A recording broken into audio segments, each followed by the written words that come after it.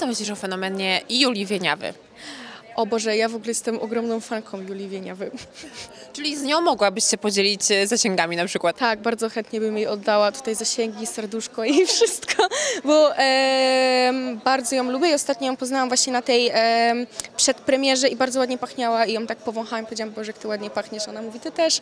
I to zapamiętam ten tekst do końca życia, już nigdy nie zmienię perfum.